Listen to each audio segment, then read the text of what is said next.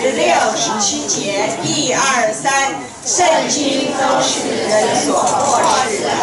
于教训、督责、使人归正、教导人学艺，都是有益的。教属神的人，得以完全，预备行各样的善事。提摩太后书第三章十六、十七节，再来一遍，好不好？一二三，圣经都是神所漠视的，于教训、督责、使人归正、教导人学艺，都是有益的。教属神的人，得以完全。预备行各样善事，提摩太后书第三章十六节。感谢神，我们基督徒神都赐给我们一本宝贵的圣经，对不对？好，今天我们就知道啊，圣经里面最重要都是神的末世，对于我们可以说是教训，就是教导我们。我想大家把这一段记得三章十六十七，因为老师已经站在那边了，我想我就不要耽误太多的时间。所以圣经对我们来说真的是很重要，使我们的生命可以更新、可以改变，使我们可以变成柔和谦卑，再也不会像以前一样容易用血气的，动不动就发脾气。现在我我们人家来激怒我们，但是我们呢，因着有圣经的教导，所以呢，我们不激怒，我们呢心中因为有。上帝的教导，我们就存着谦卑柔和的心，忍耐，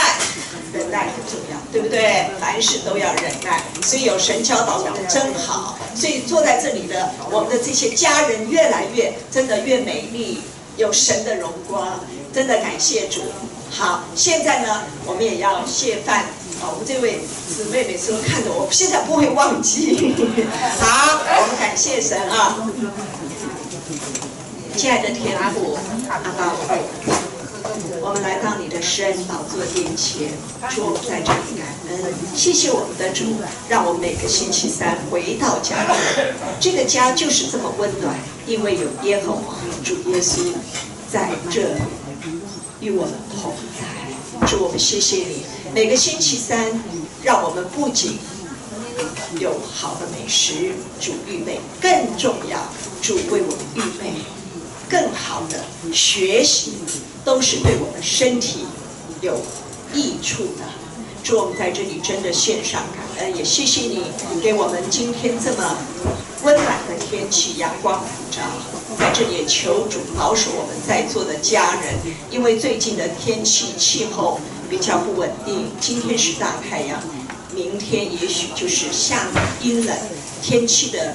呃温度也。可以说是差距很大，求主也保守我们所有的家人都能够不要感冒，即使是有病的，也求主来医治他们，使他们能够得到痊愈。这样的感谢、感恩、祷告、祈求，乃奉主耶稣基督的名。阿门。好，现在呢，我们今天啊，我来介绍一下。那，我这个介绍是比较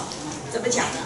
较简单的介绍，等一会儿由这个老师，他已经在那旁边。你看到这位老师，我们看到老师，我们就知道这位老师非常的健康，所以他才可以来教导我们的健康。今天我们请到的这位是台北商业大学体育室的主任李昭庆李主任，来教导我们如何让肌耐力更年轻。起身自如，啊，来帮助我们大家一起健康起来。我们现在用热烈的掌声欢迎李主任，谢谢，谢谢主任。我们也请主任自己介绍他一下的 background 啊。我想老师这么健康，我们也可以多了解一点。谢谢老师。好，谢谢谢谢主持人。那我自我介绍一下，我是。因为我们在隔壁邻居啊，是那个台北商业大学的体育室的李昭宪李老师哈。那，哎，我先自我介绍一下哦。哎，好，忘记跟各位阿公阿妈、啊叔叔叔伯伯，然后大哥大姐，大家好哈。那，哎，我我是国立台湾师范大学体育系毕业哦。那我教教体育哦，已经。已经二十八年，第二十八年了。那，诶，那因为我们研发长，他就告诉我说，这边有一个这样一个一个活动啊，一个团体，他希望呢，我来这边跟各位介绍一些如何提升你身体势，或是你身体的肌肉力量的一个。一个介绍哦，那诶，因为之前是我我跟我跟我们研发长在聊聊我自己爸爸的事情因为我我爸爸现在已经也八十岁了，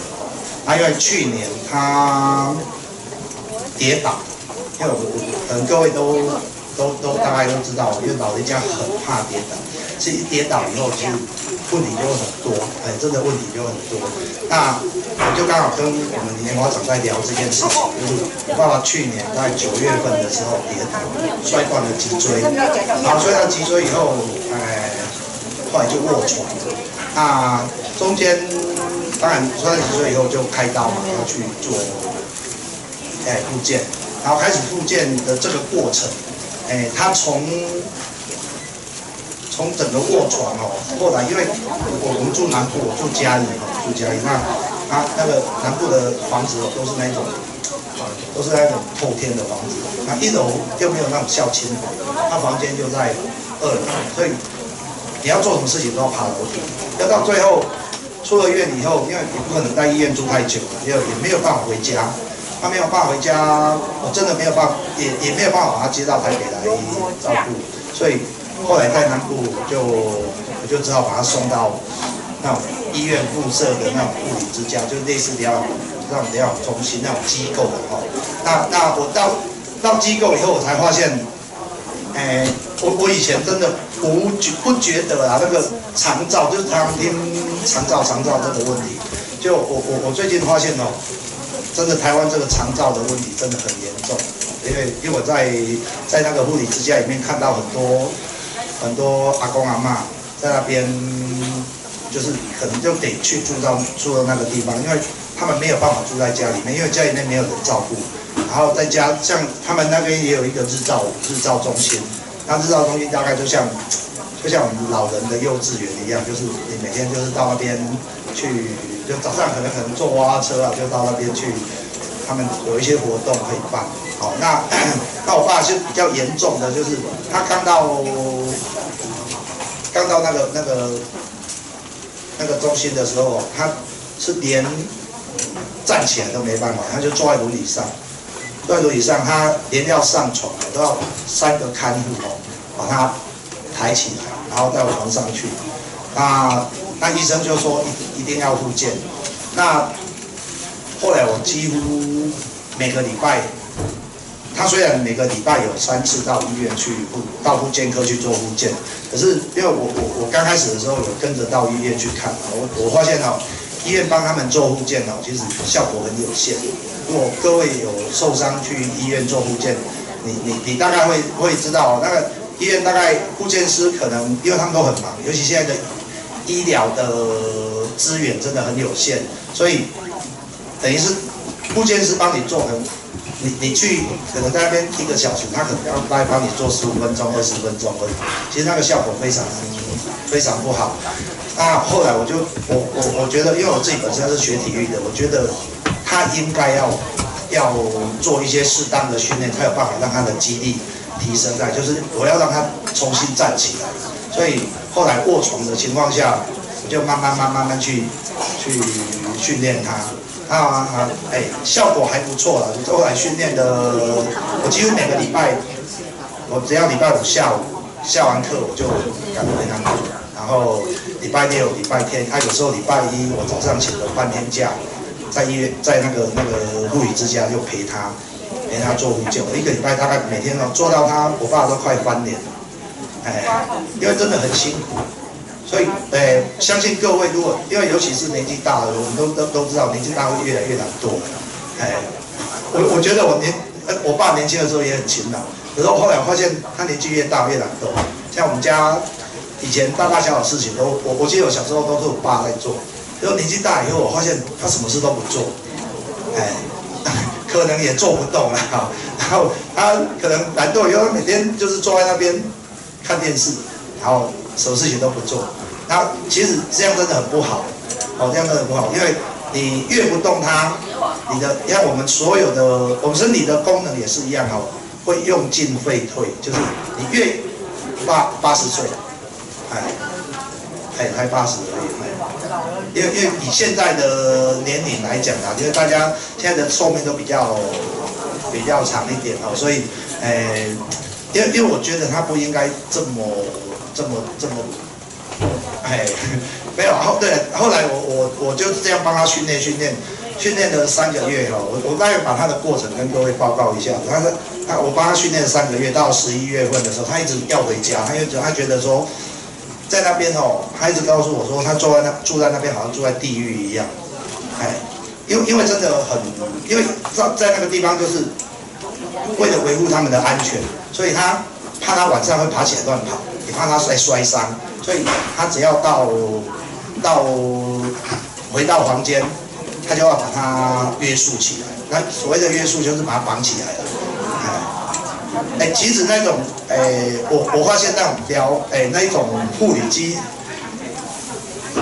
也也可以说是安养院的。哎，啊，因为我我我观察哦，他们怕怕他们里面的这些哎，他们都讲助眠的哈，就是住在那边的人哦。都怕他们发生危险，因为他怕半夜爬起来，而且那种地方哦，我我们的医疗资源真的没那么，他他在平均一个看护哦，照顾十个人，哎，大概照顾十个人。那像在南部，他们大概都请外劳，哎，他真正护士哦，真正护士大概一个楼层哦，一个楼层大概只有大概三个左右，三个到四个护士而已。尤其是现听说现在一地一休又更长，哎，就是。可能那个那个护士可以可以去支援的人越来越少，就我发现，在那边当然各种状况的人都有了，就是有的比较严重的啦，甚至有些就是整天卧床在那边，就需要靠需要看护去帮他们，可能甚至要包包尿布啦，然后帮他们翻身啊，他他基本上，哎。当然，每一种人都有哦，甚至有那个自己自己行动的那一种，比如说他可能推着轮椅从房间自己慢慢慢慢慢推推到教育厅那边来，啊，他们那个生活，我觉得，当然我我我看着也很不忍啊，我也很想把他接回来，可是我为了为了他，因为我平常没有办法看到他，因为在那边的生活就大概是这样了，就是早上他早餐已经在房间里面吃，就在床上吃，吃完以后大概九点十点，如果有洗澡。他们那个看护就会把他们带去洗澡，好，啊，洗完澡以后就把他推到教育厅来，教育厅来，开大概开始在已经在准备等吃午餐了，他大概十一点左右就吃完午餐，吃完午餐以后，他们又把他推回房间，他推回房间以后就让他们睡午觉，他大概睡到两点又把他推出来，反正他们只要到房间哦，有一些人，他们就需要我刚刚讲就需要把他约束，他们大概会有一种。那个病床都有一种束缚带，把他的身体先绑起来，让他不要不要离开离开床，啊，因为因为真的是怕他们危险啊，啊，所以像我爸在那边住了三个月，他到了十一月的十月底的时候，他才回去。他回去以后，我我那时候一直不放心他回去，那后来我就说好，那因为我弟弟住在住在也住在嘉义，我说我就先先让他住我弟家，那。我想各位也都会跟可能跟跟跟子女，有的跟子女住在一起的，有的自自己住哦。那像他们刚开始去跟我弟弟住的时候，就住的很不习惯。啊，我妈妈也住在那边啊。后来就是因为我妈妈住的不习惯，所以就把我爸爸带回去了。哎，他就偷偷的带回去，然后被被被我骂回去。然后骂回去没多久，我我又又回台北以后，他又住不到一个礼拜，他们两个又又偷偷的跑回家。他跑回家，因为那时候我是真的很不放心的，因为因为我们家都都要爬楼梯，好，但那上下楼梯对他来讲是一件很很很危险的事情，不是他没有办法上下楼梯，是他有办法上下楼梯，可是很危险，因为因为老人都随时可能会跌倒，啊，尤其在上下楼梯的时候，那跌倒真的是很很严重的一件事情，可是真的千算万算哦，都都都都真的我也没算到。我元旦回去，啊，因为隔那个过元旦二号要上班，我就回来了。他当天，又跌倒。哦，那一次更严重，他自己他自己觉得他可以走路了，他觉得自己走路了，他他就说啊，他要去我们家对面那边有一家中医要给人家推拿，就去他就自己自己走去了。那我跟我妈讲，我说你一定要跟着他。那我妈就是那种，因为我妈还有一个蛮大的问题，就是她现在有轻微的失智。对啊，那因为她常常会忘记事情，那有时候我爸就跟她说他要去推拿，结果他就他说好了，你等一下啦，我等一下再陪你去。结果等一下他就忘记了，然后我爸就走了，就跑去推拿了，就过马路，然后可能是人家骑摩托车啊，那他又有一点重心，就稍微。可能那个那个车那个手把稍微，然后碰了他一下，然后就跌倒，他跌倒就撞到头，他撞到头以后，他觉得没怎么样，他自己还爬起来哦，因为怕怕回来会被骂，不敢讲，就不敢讲，然后回来也没事，第一天没事，回到家以后，好，第二天晚上，那又有撞到头，他有脑震荡，就里面有淤。就是那个回血管破裂破掉，后来血液慢慢慢慢慢跑出来，就在前额的地方有血块卡在那里。啊啊，那种状况就是可能会隔两三天以后才发作，就到了隔了两天晚上哦发作，因为那个血块血块那个积在那个前额的地方，他开始意识不清，半夜起来乱跑，然后要跑出去。我妈也拉不住他，就都跑到楼下去，说说他要，哎，外面有有什么有什么东西啊？他想要，他他想要去去去去怎么样怎么样？就从半夜两三点搞搞搞搞到天亮。他那时候我妈也不知道怎么办，我们家里面又没人，他又又又没有住到我弟家，他那时候他们就跑回跑回我我们家这样，就搞到快天亮，哎。我们邻居才说啊，你这样不行啊，要赶快叫救护车送到医院去，然后到医院去，后来一检查，断层扫描一找，啊，头这边有血块，啊，难怪他会意识不清，然后意识不清以后就，医生是说还好啦，就他会慢慢慢慢散掉，但是医生有告诉我说，老人家最怕跌倒，尤其是你都撞到头，撞到头就会影响到他很多功能。所以他他他他现在哦，他本来意识其实脑筋，像我爸脑筋都很好，就是记忆力很好，然后什么事情都记得很清楚。可是我后来发现哦，像现在已经三个多月了，我因为后来他又去，我刚刚讲那个护理之家又住了两个月，哎，前后又去住了两个月，啊，所以所以他总共大概住了五个月，他在那边住了两个月以后住到。他也一直要求说他一定要回来，他说他住在那边真的非常非常痛。后来我我我就跟跟他们两个讲说，你一定要住在我弟家，就是至少他即使白天看不没没办法照顾到，但是至少早上啊晚上都都能能顾得到。那也是一样，我我又第二次的又重新把他他那时候送到医院的时候也是全身瘫软啊，然后那个运动。运动的能力都都又消失了，尤其是卧床，哦，所以可能跟各位报告一下，我今天也是要跟大家介绍一下，就是你的肌肉你怎么样去提升它。像我刚我刚刚讲，尤其是长期卧床的人，你你的肌肉力量很容易退化。那你退化以后，你想要再重新站起站起来，就要花更大的力气、更大的力量去来去做。所以我我我是希望借由我我自己自己。最近这半年来的经验，跟各位分享一下，我自己跟我爸爸他教他如何从真的连站都站不起来，然后练到他可以走路。当然现在我还是觉得他很危险，他现在还是很危险，就是随时有可能跌倒。那到现在我就每天都叫我弟弟说，把我平常在训练他的那个功课，叫他每天都要做。做到我爸都很害怕的。我我上个礼拜上上个上个礼拜回家，爸跟偷偷跟我讲说，我好怕你弟弟回家，因为我弟一回家说，哎，赶快来了，赶快训练，因为因为真的很累啊，真的很累。那我我一直跟他说，你要忍耐，你现在就是要让你的肌肉力量，把你下肢的肌力把它训练好，你这样出门我们才能放心。好，当然当然对各位来讲。你现在要去把基地建立起来，真的是比较比较，可能是比较困难的事情，但是很辛苦。但是我希望说，如果你把它持之以恒的去做，我相信你的生活，你的生活品质会更好，哦，会更好。那待会我大概我做，简单的跟跟各位介绍一下，就是一些简单的啊，让让大家方便。我那边有个相对，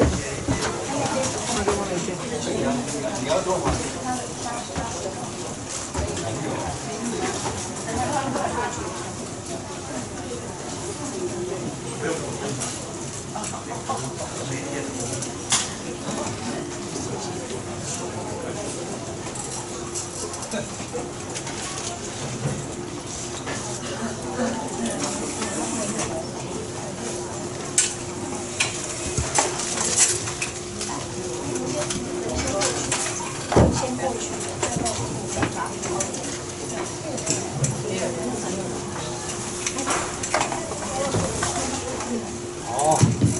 好，那我我就开始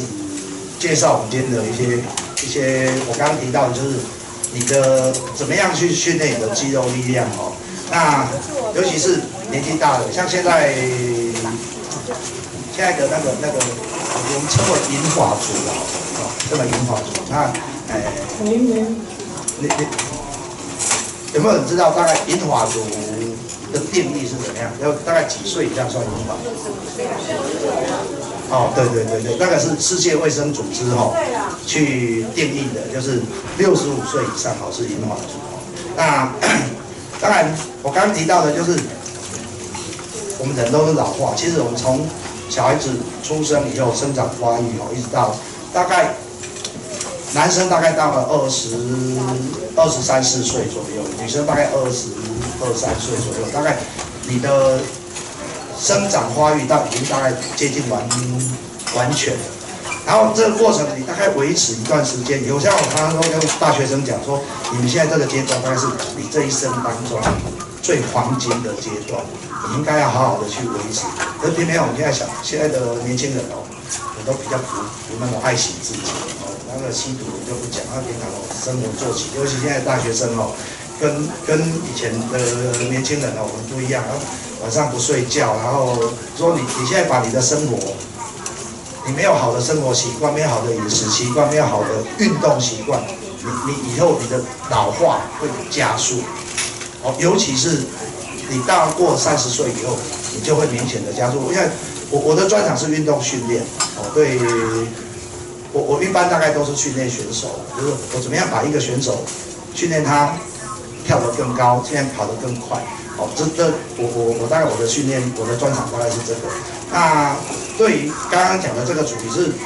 只是我一个分一个经验的分享。哦，那我我刚刚讲的，像老化的过程，你就会身体功能一定会下降。嗯，各位大概都有那种那种那种经验的。其实你大概到三十几岁以后，哈，你身体的功能一定会慢慢慢慢慢慢下降。你肌肉，包括你的肌肉力量，你的。肌肉系统、骨骼系统、呼吸、循环、免疫，哦，这些功能一定会慢慢慢慢下降。那下降，你怎么样让它下降的幅度？那么绝对不可能是会变得更好，只会变得更烂而已。只是我们现在要让它老化的更慢一点，哎，不要那么掉的那么快。那怎么样去做？哦，那这像这些东西，就是你你要知道要如何的去做。那我刚刚讲的，尤其是下肢的肌肉力量，因为说真的，你现我们现在到一定年纪以后哦，其实真的要去做，就是要工作的，就是用手去工作的动的的部分会比较少一点。可是我们都得走路啊，我一定要给活动。那要活动，一定是下肢下肢会比较比较需要。好，那所以你你做这些动作，你有办法，你的下肢有力量，你的生活才会更。让你跟着过好一点哦。那我刚刚讲的，尤其是长期久坐或是卧床的，像我我刚刚讲的，我爸为什么后来后来容易跌，就是为什么会跌倒？那一次，我就发现哦，他退休以后哦，就每天的的的的作息就是早上起来吃完早餐以后，就开始去看电视，不管看得懂看不懂，人家就坐在那边开始看电视，一直看看看看到中午，他也很少出门啊，有时候会啊会骑摩托车到处去晃一晃，哎啊，但是基本上他长时间坐在坐在椅子上或是坐在沙发上的时间很久啊，或是说一种卧床的，像我刚刚提到，他后来开刀以后卧床，因为你大概哈。卧床超过就是你受伤或生病，你大概卧床一个礼拜，你大概你的体力哈就会比你现在好的时候消失六成以上。哇！哦，消失五成到六成以上，就是你的体能状况会消失很快。所以你就要把，即使就是你可能出院啊，或是可以活动的时候，你那个体力真的是消退很多。所以你要怎么样去把这些体能把它恢复，就是你要如何去运动，好。那这边我们大概简单介绍，就是你你可能循环系统的，就是呼吸啦、循环啦，还有你的骨头哦，就是骨质本来骨质我们就会流失嘛，哦，所以所以人家说那个年纪越来越年纪越大的那个骨头越越脆弱，那个台语叫做 lupa，就是也对对对对，因为有一些国语不太会讲啊，哦，那肌肉会你肌肉的的质量也会慢慢减少，因为我们一般。我们身体里面哦，我身体的组成大概分成两个部分，一个是肌肉的量，一个是非肌肉的量。哦，那你的肌肉量越多，哦，肌肉量越多，你的活动能力也会越好。那可是偏偏哦，因为我们可能因为没有没有经常去做运动的关系。你的体重虽然没有改变，但是你的身体组成是改变的，就是你的脂肪脂肪量会越来越高。所以你各位如果有去做身体检查，你就会发现，诶，你你检查出来就很多东西脂肪都会太高，哦，比如说肝脏，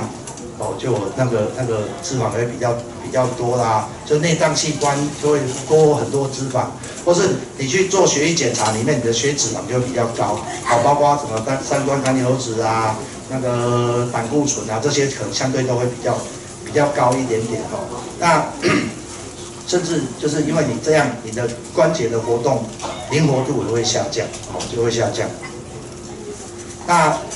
做什么样？就是你要做适度运动才会，哎，对身体有什么帮助？那这个我想不不用讲太多，大概当然知道，运动是有很多好处的，哦，有很多好处。然后大概像我这边有提到，就是。你的肌肉、肌肉力量、肌肉耐力，还有你柔软度啊，还有关节的活动度啊，都会都会增加啊。甚至，哎，我刚刚讲的，你可以去延缓你骨质疏松的情况，因为你你的骨头哦越脆弱，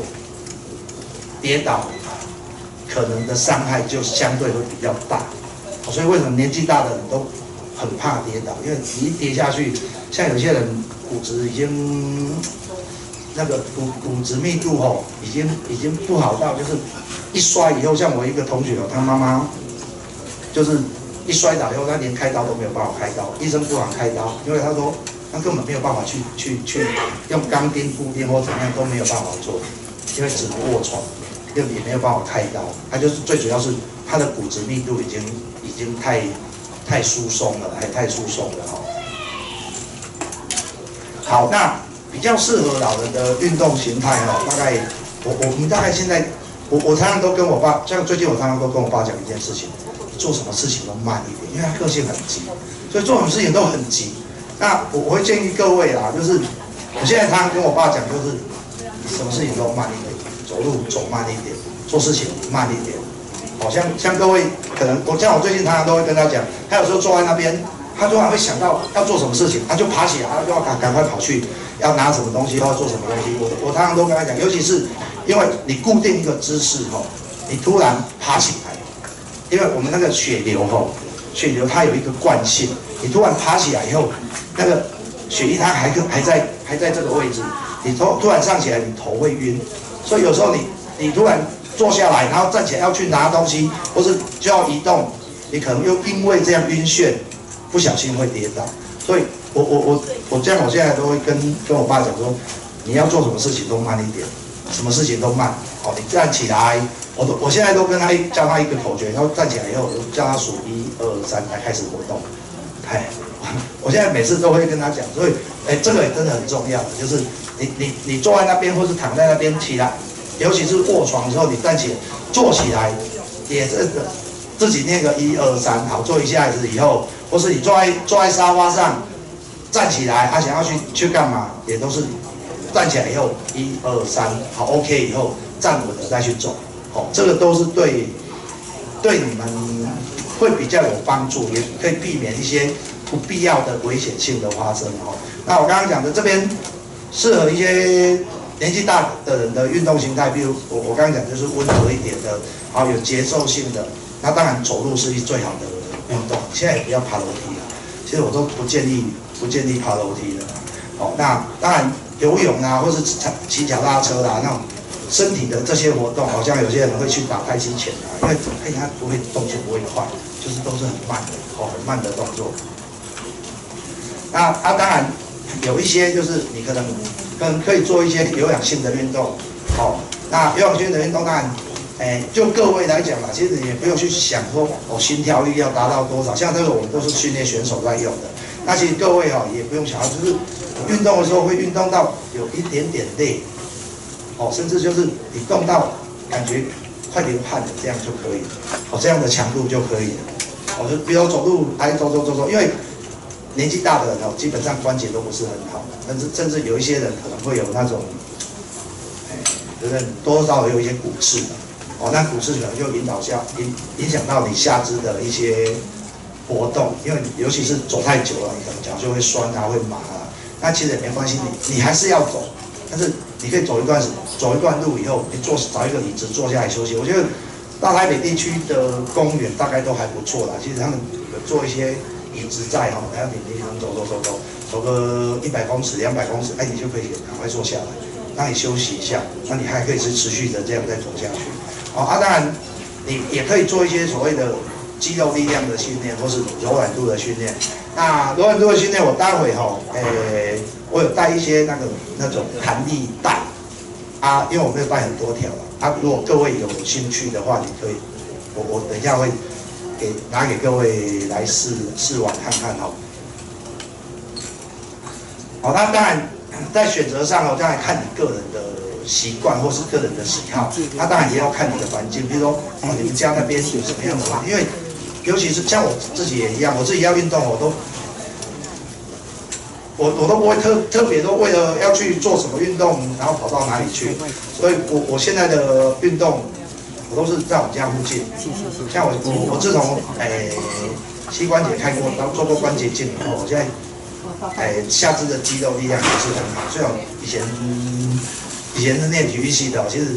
说实在年纪大了以后，其实到了四十岁五十岁以后，关节都不都变得不是很好。像我诶再再讲一个例子哦，我我在学校哦前几年我当当学校总务长。我就做总务工作，就是要盖房子啊，或者学校，诶，厕所坏掉啦，马桶马桶不通啊，什么事情都是我在管的。那，诶，我们就很多老师，女老师啊，因为，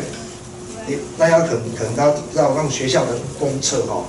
可能各位有有到外面的公厕里去，现在比较好一点，因为现在那种无障碍的厕所比较多。像以前哦，以前的，尤其是以前盖的的建筑物，那种坐式的马桶其实很少，大部分都是蹲式的马桶。那如果你们有到外面去上过厕所，你就知道哦，尤其是女生哦，哎，我们学校很多女老师那时候都跟我反映说，董事长，你能不能在厕所做那个扶手？哎，那那，对他们说，你不知道哦，我我们我们女生哦，蹲下去要爬起来是一件很困难的事情，哎，啊，他们就说，尤其是。你你要弄弄几间那种教职员用的厕所，你说那个蹲下去要站起来，他们他们说每次不知道要抓什么才才有办法站起来，哎，所以那那个后来我我们新盖的大楼就都有都有做扶手，哎，然后来我我因为我我因为对学校也学校也没什么钱啊，哦，那个那个每年你不要看国立大学，现在国立大学很可怜，最主要现在大大学很多，所以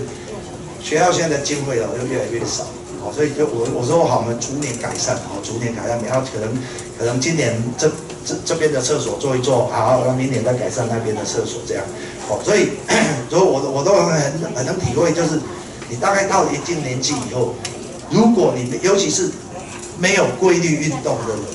哦，特别是里面你不经常有规律运动的，你的下肢的退化的情况，我刚刚讲的，你到三十岁以后就一定是慢慢在退化，慢慢在退化。那有些人真的是退，就是你的生活习惯不好，运动习惯不好，饮食习惯不好的。所以饮食习惯不好，就是你的营养的摄取比较不均衡，哎，可能缺这个缺这个，所以现在才会有那么多，像现在生物科技很发达，所以现在就有很多。那些所谓的营养补充品啊，哦，像我们现在讲的，你看，哎，我们现在所有的广告里面最多的，尤其是针对老人，哦，可能大概就是，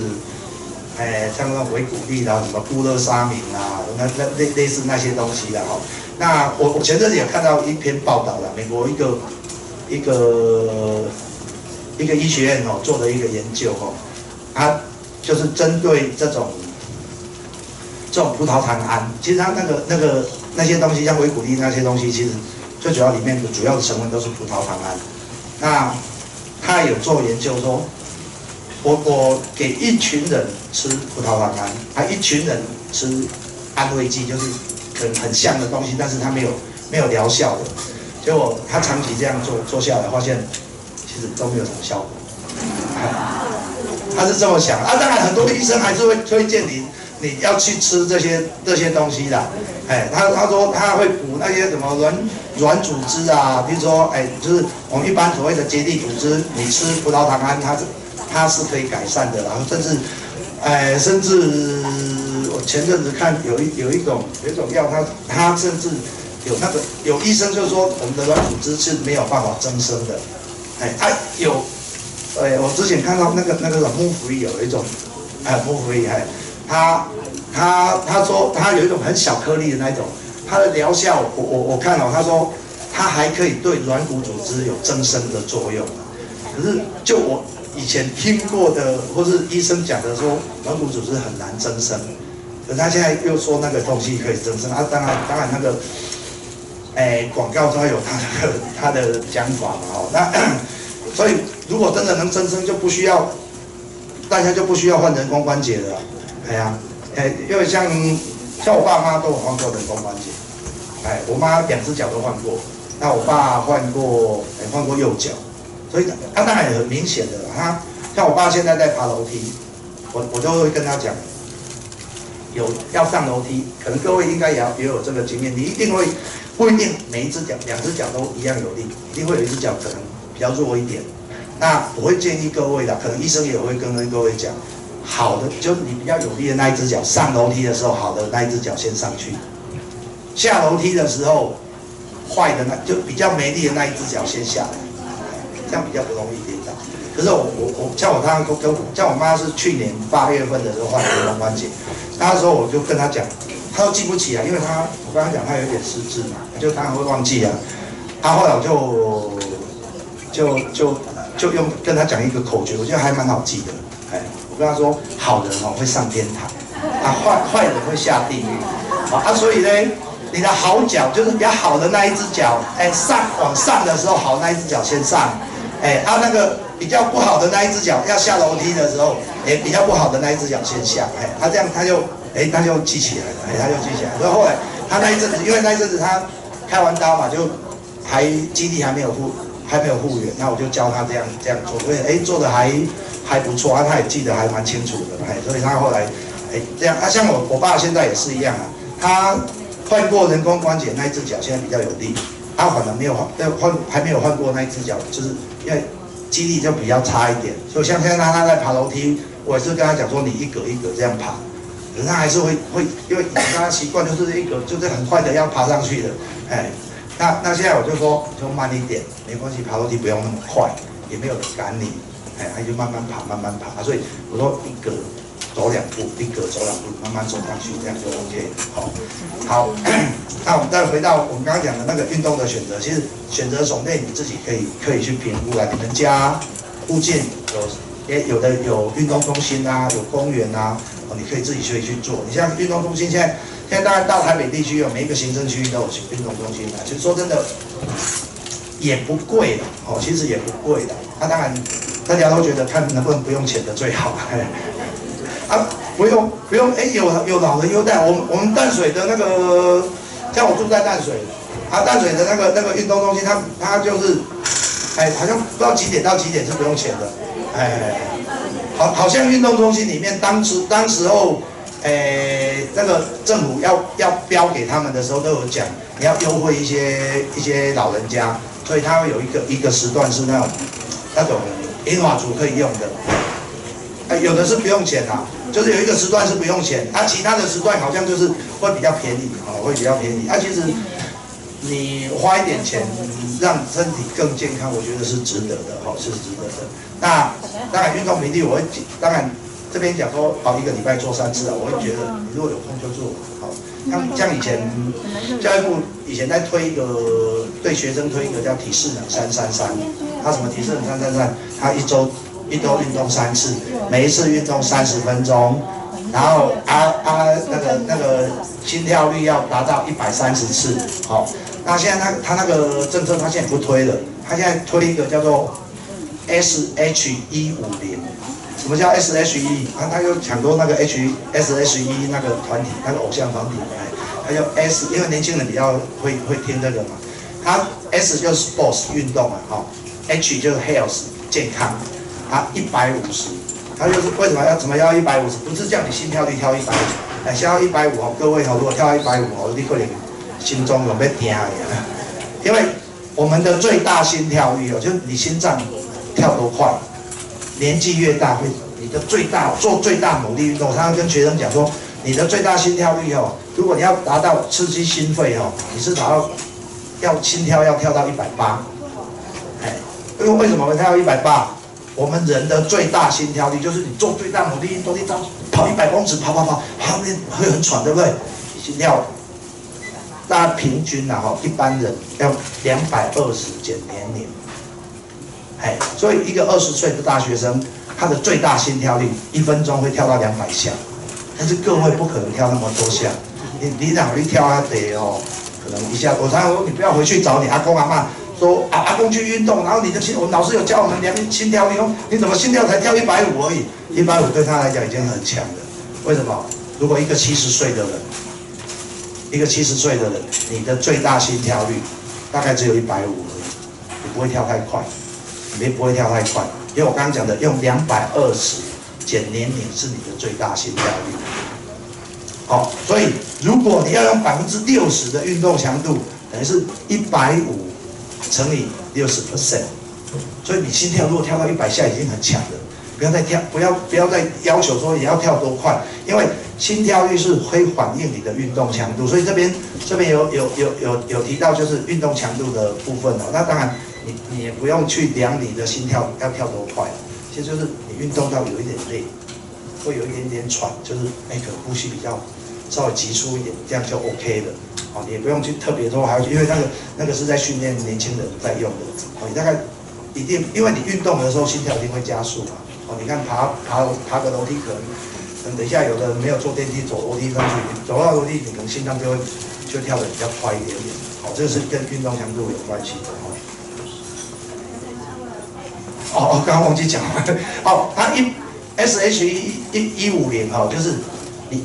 他现在要求就是啊，你也不要管运动频率，你也不要管运动强度，他就是把你运动时间一个礼拜，total 加起来就全部加起来一百五十分钟，哎，就是说你一个礼拜，你把它累积一一百五十分钟的运动时间，那你不要不管你去做什么运动啊，你走路也好。骑脚踏车也好，当然各位我我比较不建议骑脚踏车，就是在走路了。哦，我觉得走路真的是很 OK。当然你会游泳，当然也去游泳也 OK。但是游泳比较对各位比较，因为游泳它虽然比较安全，但是它对骨质密度的提升哦，就是减缓它骨质流失的比较没，因为它没有冲击性。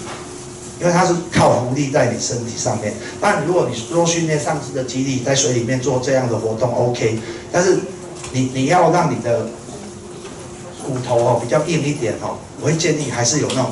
冲击性的，就是你要用力的。因为我们现在这样走路，它还是有一点一点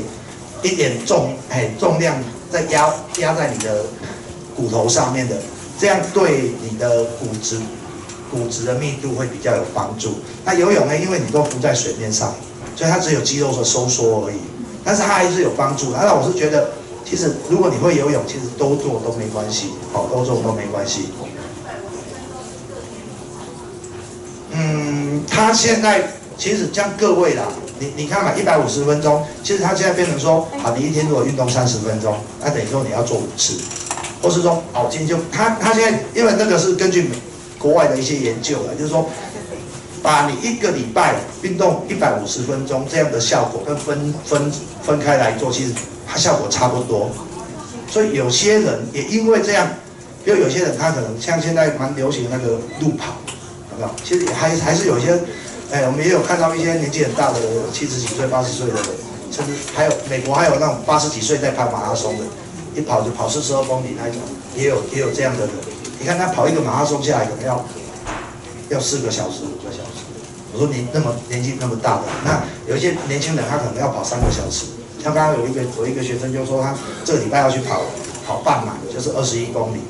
他跑啊，然后他问我说啊，老师我怎么配速哦？我说啊，你可以怎么样怎么样怎么样跑？哎，那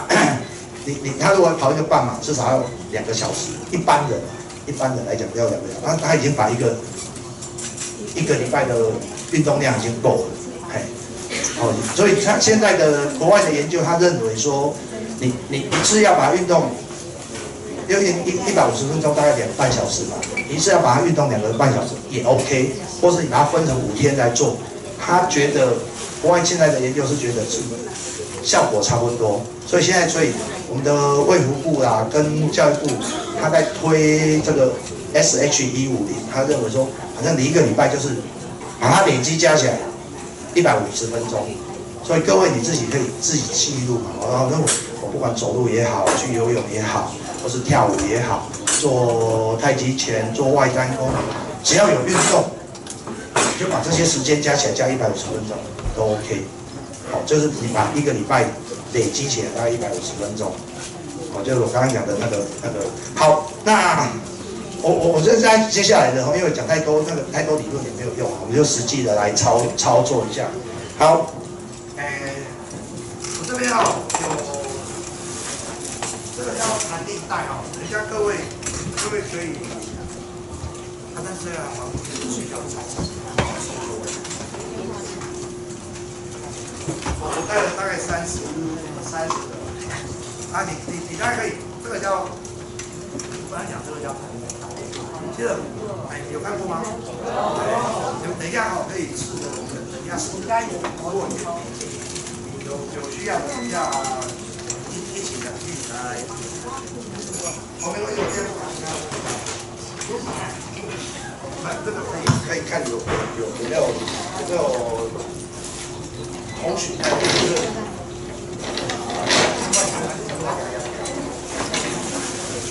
没有，解解他。啊，就对对对对对对。啊，这边还有，他们可以拿拿下去，对，拿下去操作，要用的人可以操作。能够帮我发一些点，好，这样。OK 啊，OK。好，那有没有有没有有没有？有几位愿意上来对对对，没有。我们等一下做的动作，我们等一下先做的动作，一些伸展的动作，等一下就可以大家在座位上就可以做了哦。是在。哎。因因为这个待会要老师的。好，朋友，你们先先拿着好，我们先做做其他的动作哦。上来做，对，上来做，先做给大家，坐在在的老师做。来，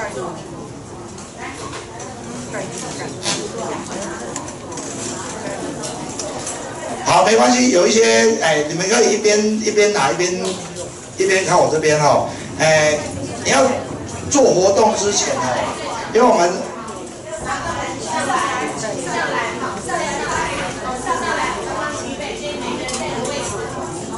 好，谢谢，谢谢。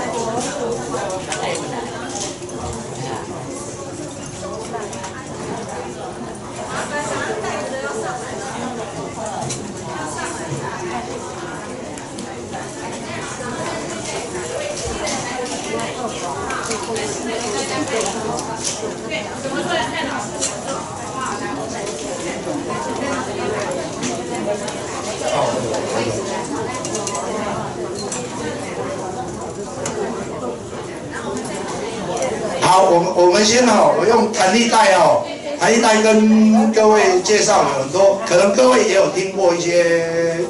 一些这种弹力带的使用啊。其实它在使用上大同小异的哈。它最主要它是一些肌力训练的动作。那等一下我再去介绍一些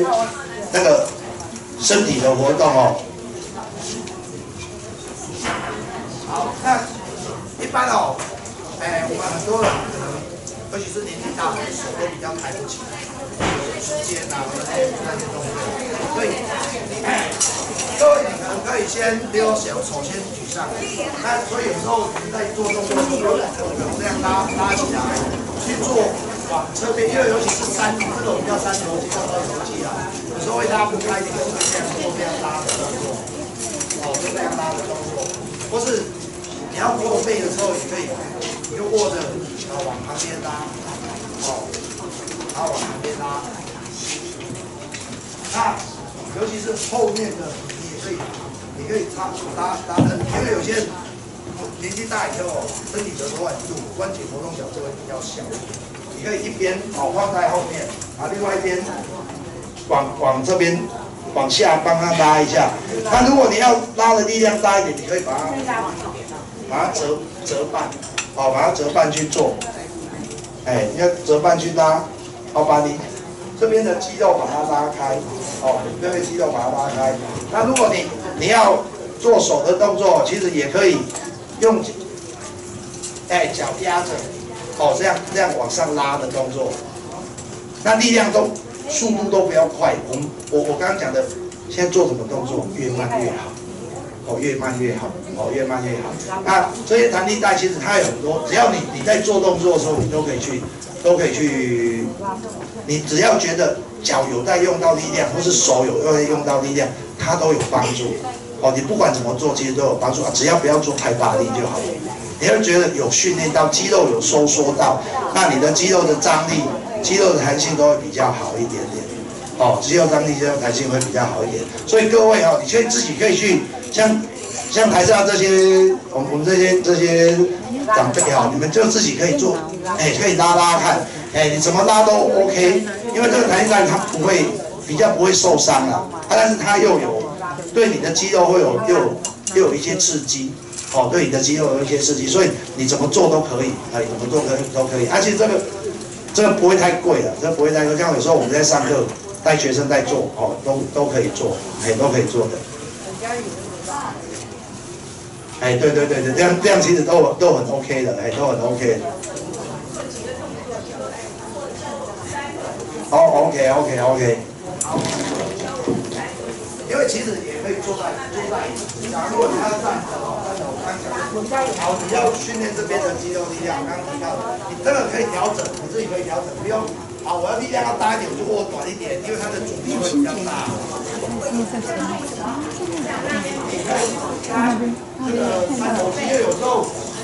肌肉很容易松弛嘛，那尤其是不常用的肌肉，我们我们一般做的都是向心性的，哦，所以你手背这边，觉得前面这边的肌肉会比较不会堆积脂肪，而且这个会比较有力，因为我们常常。拿东西也是这样在拿，你很少往后面这样去拿，所以相对的，现在不要不要说年纪大了，这个年轻人不多，就很不敢不大敢穿那个袖，而且他会这边会袖，对，斜袖，因为他的肌肉这边不能松弛，因为平常平常没有在训练，那个 S 没有在训练，S 在用，因为本来本来打呃本来我家那一台。他后来又有说那一台效果，他那一台更好，可是好有，他说让他拿回去做。太好了，电脑里面塞太多东西，跟他搞不来，而且这一台超慢的，开机开很久，我以为我以为免费房送的就学了，嗯，就是我们在用的。不是哦，那今天他们会用另外一款，嗯，那动画的。好，我明天再用。我那个不急。我我再跟你讲。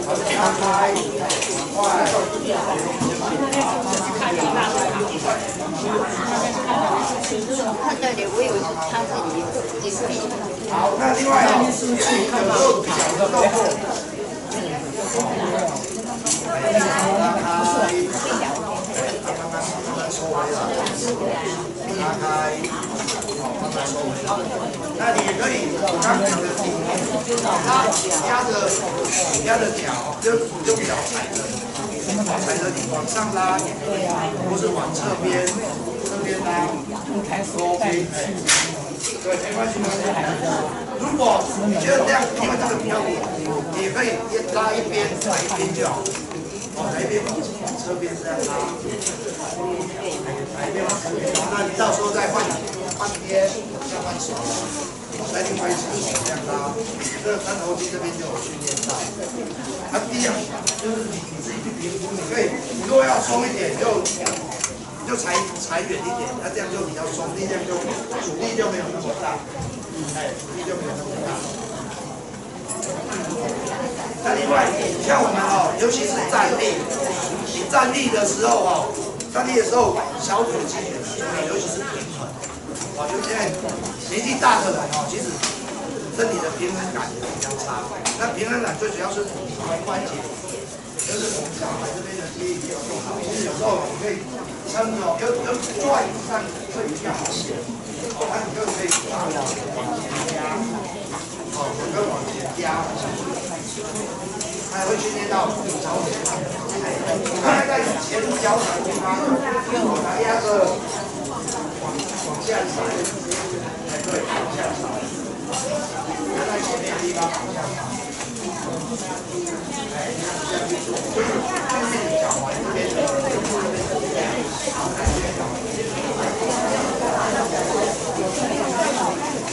好，谢谢谢谢大家。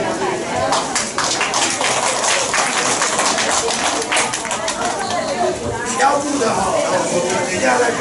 跟大家讲一下。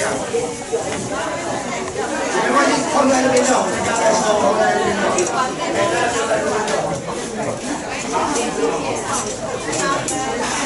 我我就来，我就来，来。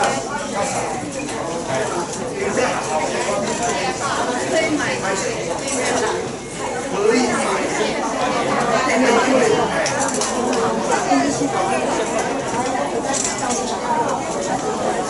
好。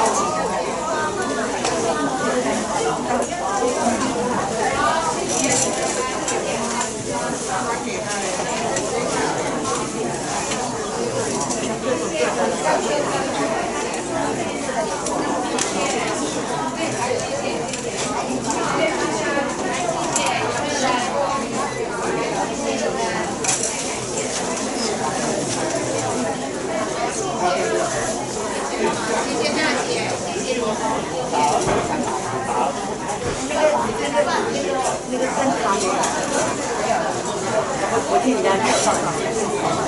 以后再来照顾他爸爸妈妈不晓得，好的，他们有的跟没有的。好，好，对对对对。哎，这个我不是很清楚，那个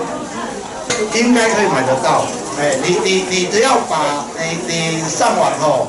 应该是体育用品社大概都有卖，哎，因为我我自己也没有买过。弹力带，弹力带，哎，弹力带，你不要买弹力绳，有一种弹力绳是它有握把的，哎，它有不同的啊，因为我觉得弹力带因为它比较好抓，啊，你要抓哪里都可以，那你回去你就是坐在椅子上也可以坐，哦，坐在沙发上也可以坐，坐在家里面也可以坐，好。应该很便宜的，不会太贵的。瑜伽，瑜伽像现在瑜伽的课程很多，它包括有很多什么，现在已经做的瑜伽本来都是在做伸展的，可是他现在有做那个什么强力瑜伽，其实现在现在已经做到很多肌力训练，真是甚至弄搞到哦，我都觉得那个难度有点难了。哎，其实瑜伽它本身就是，它应该是做。呼吸就是你的你的吸气吐气跟跟你的身体的柔软度，就是把你的拉筋的动作。好，那现在现在很多瑜伽的动作已经我觉得有一点有点有点过头了，哎，已经有点过头了。好，那刚刚哦，刚刚有有有有长者在问我哦，就是你的腰部，尤其是我我们现在很流行哦，像现在现在健身房或是他们有很多功课哦，很多课程哦，在做所谓的核心肌群的训练。什么叫核心肌群？哎，简单的讲就是。哎，把那个以前的讲那个五马分尸哦，就是把你的头啊、手啊、脚啊锯掉，啊这一块剩下这一块就叫核心，就是我们躯干的这一块。那一般躯干的哎那个躯干这一块的肌肉力量比较不好练，为什么？因为我们都动四肢。那核心这一块是非常重要，尤其是我我我们刚刚讲的，像很多年纪大的都有骨刺的问题。那骨刺大概都是长。都是因为你脊椎，就是我们脊椎一节一节的，尤其是年纪大的人，我我相信这边在座应该有一些人有那种僵直性脊椎炎，就是他他骨头就是很硬，哎，他他已经没有办法像我们一般一般生理关节，它可以身体很自然，哎，自然这样这样活，就是你的你的脊椎它可以自如，身体很自自由的去活动，因为都比较比较硬的，所以变成你的。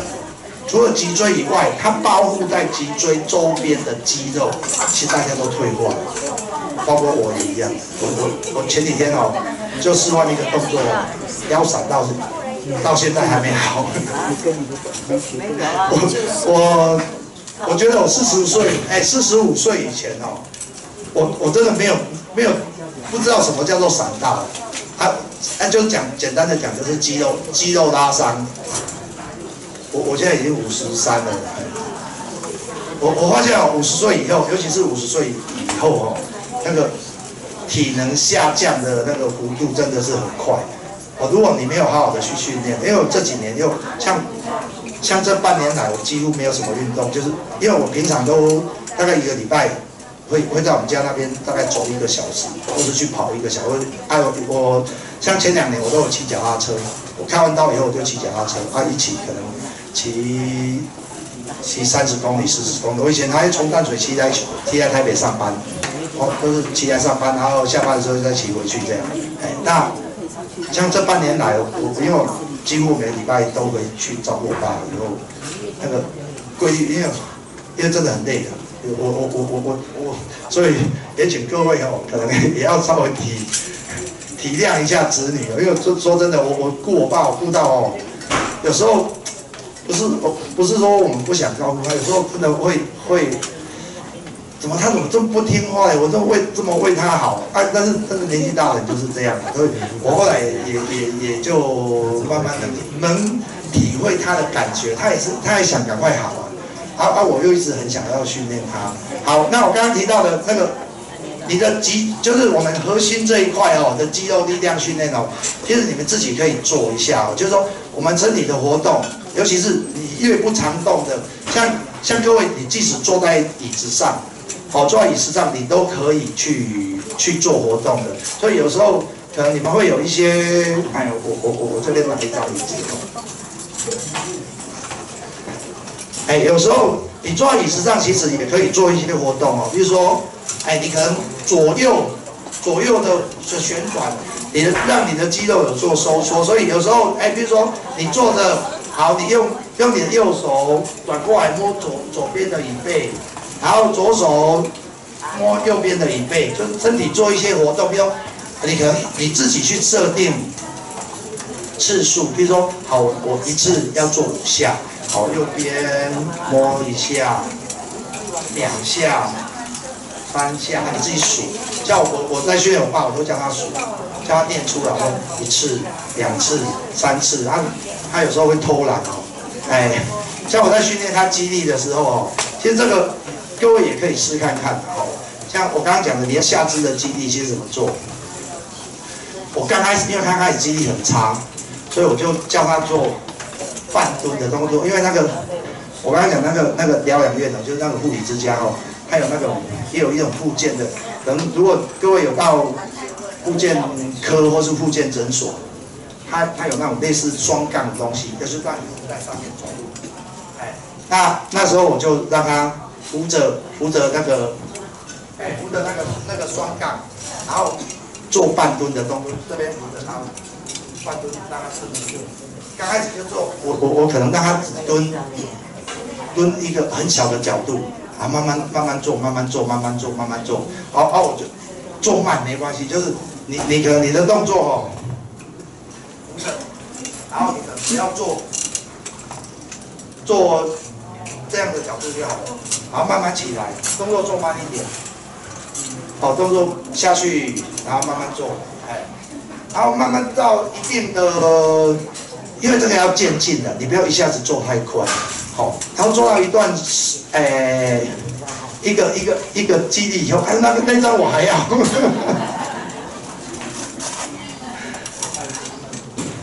好，那那做到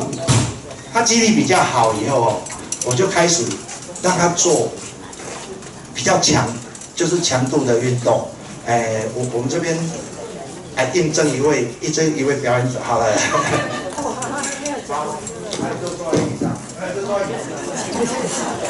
那后来呢，我就开始跟他做，他肌力我觉得平平度比较 OK 的，那我觉得我就要跟他互动，或者他不想做，那我就变成我要跟别人他做，就拉着他的手，哎，拉着他的手，然后加，哎，你们在做的时候，两脚要与肩同宽。哦，这样明显，不要不要这样外八哦，那明显。那你就自己好，就平安这样，好，来站起来，对，好，站起来以后，然后再慢慢的坐下去。你也可以扶着他，好，再站起来，哎，再慢慢坐下去。啊，哎，我我都是站着的，因为我自己也要练啊。哎，啊，其实如果你们自己在做，没有家，其实家人可以跟你一起互动。哦，其实你们也可以互动，不用分。像我后来，我叫我妈妈也跟着做，哦，对，叫我妈妈，我是的，好，慢慢起来，站立，好，慢慢做，动作都做慢一点。然后那时候我都会叫我爸要数的，然后数到最后，然后他下去的时候，他已经算二了，然后在上来他又算三，因为我叫他做十下，结果我们一直说，哎，这样就做五下，因为他会数很快，他就会数很快。好，谢谢谢谢。好，我们给你一个奖品，做你需要的。谢谢谢谢谢谢。那个，像像刚刚哦，刚刚其实做这个动作还蛮吃力的。好，那如果你用的。更低的位置肯定会更吃力，就是你椅子要做更低，哦，那你会做更吃力一点。有时候你甚至可以，像那时候他在我们家都坐在沙发上，那我就在沙发上让他坐，他从沙发比较低的位置要站起来，他就很吃力。他做到他也会有一点点，真的会很喘。他每次做完哦，哎，因为我都叫他做十下，他做三个循环。就是十下做完会让他休息，休息大概可能三分钟、五分钟，然后再做十下，再休息三分钟，做五分钟这样。然后他大概三个循环以后，大概做到第三个循环，他就已经满身大汗了，哎，就会满身大汗了。那后来开始哦，我就我就会教他训练脚的平衡。其实各位你们自己也可以做做看呐。我我后来就拿了一张哦小板凳，大概像这个高度那么高。哦，啊，或是再高低一点，看你个人的肌肉力量啊。那因为像我最近他发现他的平衡不好，因为走路我们走路要平衡嘛，他有时候会可能身体身体的稳定度不是很好，有时候可能走到一半他脚会稍微软脚。那我就像我现在给他的功课就是每一次上不用上楼梯，就是脚抬起来的动作，比如说你像这样，好，我我就叫他做慢一点，就是他要脚抬起来。然后放下来，脚抬起来，放下来。啊，刚开始他肌力不好的时候，他他他甚至因为尤其是哦，你们肌力不好的时候，他会这样，哎，这样做。然后慢慢，我会建议哈，就是你在做做这个动作，因为这个动作它有一个平衡的动作，就是说这个是太高的，这个真的不要这样，这这高度对你来讲很危险，哎，很危险。那我会建议哈。要看个人的肌肉力量啊。那为了保护你，我会建我我那时候都跟他哦，后面是沙发，或是后面是墙壁。比如说他可能站在墙壁，他可能站在墙壁，因为至少他可以靠着。因为我最想要这样哦，我叫他不要靠着了，因为靠着你就失去那个肌肉控制的力量。我觉得他要要要离开离开墙壁啊，靠墙壁只是为了保护他。他如果没力，他还可以躺着，所以他待在这边，然后他就是不要做快，他每次都做很快，然后我我都说你慢慢做，好就是这样，一，好慢慢上来，二，三，四，啊你自己可以数，比如你做二十下，当然这个对年轻人来讲你觉得没什么，可是对，哎对对对年纪大的人，尤其是有受过伤的。他的下肢的力量，因为这个是在控制你的平衡，越慢你越能平衡。尤其是你们现在的平，大家的平衡能力都不是很好，没有办法像年轻的时候可以单脚站立站很久。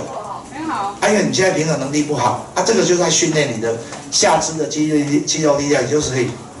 慢慢的这样上去下来。好，啊，你自己数，比如你数二十下，像我现在给他的课表那个功课就是。做二十下，然后休息，要做二十下，好休息三分钟，再做二十下，休息三分钟。哎，啊啊，像我现在也有用那个，如果家里面哦，如果你你你真的是属于肌肉比较弱的哦，哎，又怕会会发生危险，呃，像我们家我我大概轮椅也买了啦，四脚椅也买了，拐杖都什么都买了，啊，就不是有那个助行器然后？四脚，哎，我们俗称的塑胶，哎，四脚椅那一种。就是他扶着，啊，我教他不要扶着，就是那个放在那边。他如果快，就是有时候不小心可能会软脚，他至少可以可以扶着保护。哎，所以我会把椅子放在那个那个助行器前面，然后让他这样这样做。啊，后面是墙壁，或是后面是一张沙发。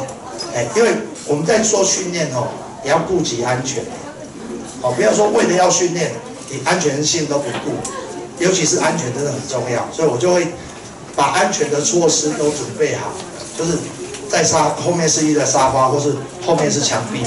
好让他去做这样的动作。好，你你大概这个像这个就是你要经常去做，像我现在就是每天都叫他要做六十下，就一次二十，一次踩踩二十次，哎，做三个回合，哎，他这样慢慢他单脚的肌肉力量就会慢慢好。我就会慢慢改善。但我我我我自己的经验是，他这这些日子哈，在训练这些的效果有慢慢在提升。哦，那那像刚刚我们讲的核心哈，诶，像其实他我刚刚讲，我爸也有僵直性脊椎炎，他的核心的力量就很差。哦，这样核心就是你腰部要往前推、往后推的这个力量就很差。那诶，各位可以。可以试着做做看，在家里面，因为在这边没有办法做，也躺躺在床上哦，你躺在床上做看看哦，哎，就是你可以躺在床上，你的一般哦，你把你的脚屈膝，要躺在床上，好，那屈膝以后哦，就鼻子啊肚子挺高，哎，你不用数太久，就五秒钟，好，就自己过数，好，一、二、三。是，然后先慢慢放下。好的，对，你上来，他再过数，一、二、三、四、五，好，再慢慢放下。那如果你觉得这样肌肉力量已经比较 OK 了，你还可以再加强一点。好，你可以会会翘脚嘛？好，你就把这样，就是这个脚放放在那三只脚，好，三只脚啊，一下。一二、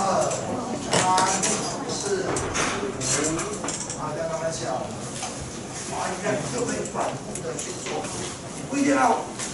你不一定要做很很多很多时间，不一定要十秒、二十秒、三十秒，那是年轻人在做的，你只要提下，你提三秒钟也没关系，就是你躺在床上，好，那好晚上，或是睡午觉的时候，好，我做一下，或是睡醒的时候都可以。我刚刚讲的，你把运动的时间拉长，一天做一百五十分钟，这样就 OK 了。好，那那这个就可以加强你核心这边的力量，所以你就不会，你的腰部、臀部、背部这边的肌肉，它就可以改善。啊，当然这个不是不是那万灵丹啊，就是马上做马上有效。哦，我我都会会跟跟学生讲说，你你这个。你至少可能要做两个月、三个月以后才会慢慢有效。那我刚刚讲的就是渐进啊，你不要一下子就做做十秒、二十秒，或是一下子要做做做三十次、五十次，这样太累了，而且也很容易受伤，或是有那一种，因为你不经常运动会有那种，呃，我我我们学术上讲叫做延迟性的肌肉酸痛啊，而我台语叫做踢腿，有没有？哎，就是铁腿那种，哎，它那种是叫延迟性，因为你并不经常去动用的肌肉，你突然一次训练量或运动量太多，你就会觉得很不舒服，就会它就会产生那种延迟性的肌肉酸痛。那这样其实你会可能会影响到你平常的生活。好，那我我刚刚提到的，你渐进式的，你一次做三秒，好，我不用做那么多次，我做五次、做三次也可以啊。然后慢慢慢慢慢慢，哎，我一次做三秒可以做到十次，我觉得这样就 OK 了。我可以做到十次，这样就 OK 了。当然，你时间久了，你这些这些核心的力量就会慢慢比较好，你就不会说我做久了腰就会很酸，啊啊，或是你你你你背部的肌肉力量就因为不足，然后造成一些一些困扰。好，那我刚刚提到的就大概大概就是我个人的一些一些经验，嘿。哦，腹部哈。像我们刚才是背部，对不对？腹部其实也很简单，也看我们刚刚的动作。你你你，一般我们我们腹部有分为上腹部跟下腹部。如果你要训练上腹部的动作，就类似做仰卧起坐，但是大家不要做仰卧起坐，因为做起来很累，哎，起不来。你就说起来一点点就好了，像这样哈，就是你躺下去，好，那一样的往前走。你你的你的手哦，你的手放在大腿上面，那你就稍微起来，减一点点就好了。这样就已经训练到上腹部了。你不要像那个年轻人说，做起坐不用做那么大，就是上来这边的肌肉已经有收缩，就做一点点。你可以拉到这边就拉到这边，拉到这边就拉到这边。看你的能力，每个人的能力不一样，你可以到这边这样就很 OK 了。好，那下腹部这边的力量哦，就长一点，小腹部的抬高，然后就训练下腹部的力量。这些都是躺在床上可以做的。你要躺着，还有一点哦，要收一下让脊椎哦，让你的脊椎贴在贴在床上，看这脚位抬高，不用抬很高，哎，抬一点点就好了。那你看你的时间，你就一秒、两秒、三秒、四秒、五秒，好就放下。哎，看你的能力，你可以做十秒就做十秒，你可以做五秒就做五秒，你可以做三秒就做三秒，不要强求。啊，你因为你训练都会增会进步嘛，可以做三秒，哎，你的一个礼拜以后、两个礼拜以后，就可以做到五秒。啊，做五秒，再训练几个礼拜以后。可能可以做到十秒，我会建议啊，不用做到大概二十秒到三十秒，就是你次做。胸部的肌肉大概就是像我一般哦，那个大概就是我们胸大肌跟前三角肌。其实你们在椅子上或是桌子上，比如说像这样的动作，你不需要做俯卧撑，你大概就在椅子上面，哦，就撑着稍微稍微稍微往前撑，就好，不要不要，不是在墙壁也可以。对啊，他一半的时候这一边就睡不见，然后后来奇怪他起来，我不知道他是。那像我刚刚讲的那个下肢的肌力，有时候你靠在墙也可以，两脚大于肩同宽，那你就慢慢蹲下去，哎，就蹲在那边，然后慢慢起来，我蹲个五秒钟，类似半蹲一样，但是这样子你靠墙不会跌倒，像我一般小时。以前小小时候被被打是麻烦的，对不对？那你不用那么那么那么大，就是靠着墙壁，蹲不下来。爱色的袋子。还有他，觉得我有自己啦，哎，哦哦的嘞。啊，这些都是训练大。那只你是说粉粉那个吗？那个不是联想用的吗？联想不许。我所以这个因为那当然是智力的障碍是这样，但是很多人很多老人家就是没有办法做到像现在，像我可以我可以身体很直的坐下来，这样起来，可是对年纪大的为什么要拉他？他他他做不起来，所以你就变成说你是在帮助他，他他才会生气，所以是使力出来。啊，如果我们自己做了，因为我们如果没有像像你像我刚才讲的，因为是安全，你你自己靠靠着强劲对来就是比较安全。好啊，你你看你你的力量到哪里，你就蹲到哪里。哎，啊，不到啊，我力量不够，我可以蹲到一个边下面点。如果力量不够，我就蹲到这边就好了。啊，这样已经肌肉收缩地方我已经肌肉会哇，慢慢蹲下去，蹲看你的能力啊。如果能力够，你可以蹲在下蹲下去；如果能力不够，蹲一半就好了。好，蹲一半。我看，不用蹲太久，就一次三秒、五秒、十秒 OK，大概都。好，不晓得各位还有没有什么问题？因为我们时间已经超过蛮多了。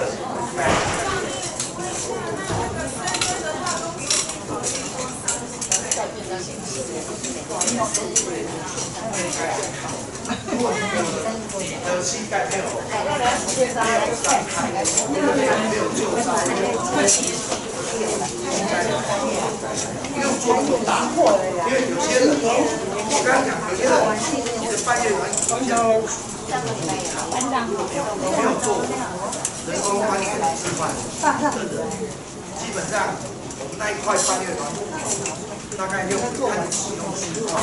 有些人可能他以以前比较少去磨它，所以他耐用个七七十年、八十年，一般来讲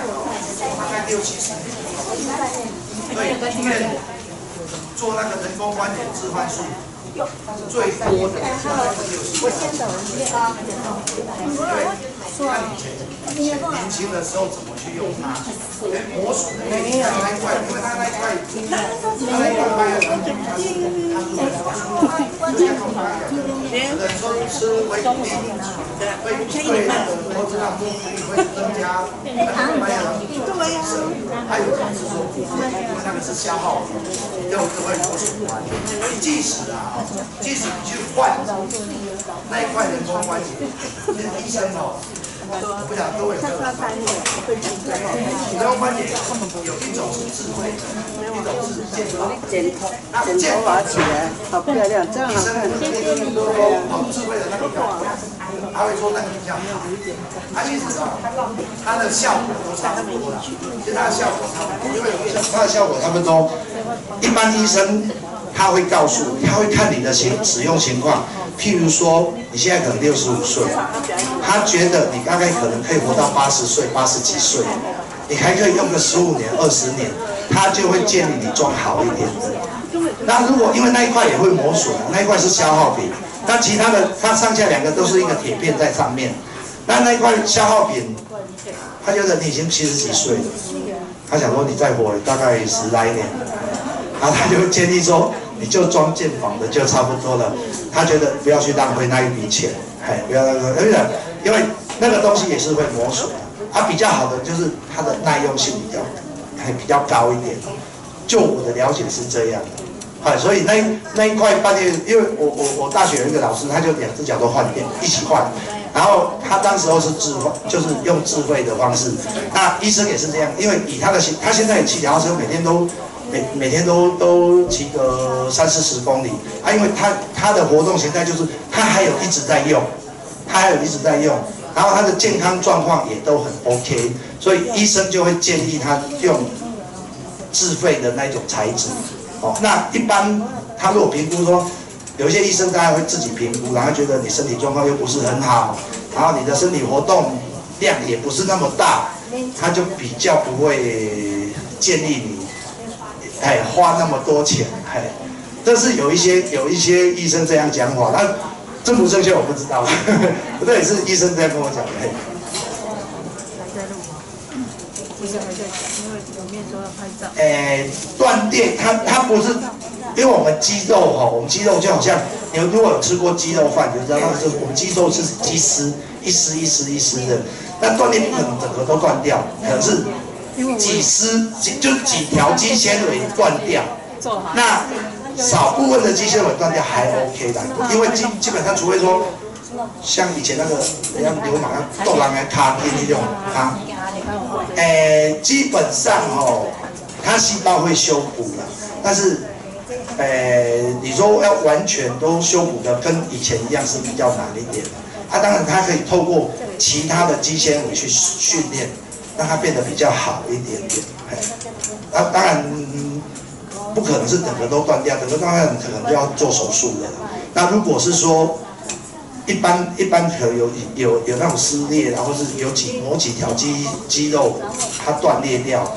它其实你在做训练，本来就是它就是在训练其他的肌群，让其他的肌肉去等去去去代替原来断掉的肌群这样，大大概是这样。好，那是不是我今天就报告到这里？好，谢谢大家。好。我们再一次热烈的掌声，谢谢我们的主任李老师，谢谢老师，谢谢谢谢。啊，我们今天受益很多哈，对不对？那我告诉各位，下个礼拜三我们没有放假，我们仍然在这里有讲座，而且下个礼拜的讲座对我们很重要。为什么是牙齿？我们是牙周病面面观，是台大。呃，这个医院的牙医师啊，所以呢，请各位呢带着你们的好朋友来分享这个可以说是有关牙周病，因为牙齿真的也是蛮重要。就像今天，我觉得听到李老师的这个教导，哎呀，我一看在座各位你们都好棒哦，都比我还棒，我都还拉不了这个 一点这个好像那个力气都没有，真的都是要锻炼啊。所以我觉得在这里，我们的身体，上帝不仅使我们的生命改变，也使我们的身。身体越来啊越健壮，对不对啊？很好，所以呢，我们最后啊记得下个礼拜三有讲座，然后最后我们用热烈的掌声归给我们的主耶稣基督，谢谢我们的神，谢谢。